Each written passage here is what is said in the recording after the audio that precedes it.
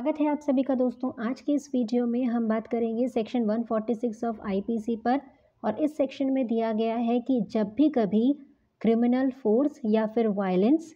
मतलब कि आपराधिक ताकत या फिर हिंसा का प्रयोग किया जाएगा अनलॉफुल असेंबली के द्वारा या फिर अनलॉफुल असेंबली के किसी मेंबर के द्वारा, उसी असेंबली के कॉमन ऑब्जेक्ट के लिए तो ऐसे में उस असेंबली का जो प्रत्येक मेंबर होगा, वो ऑफेंस ऑफ़ राइटिंग के लिए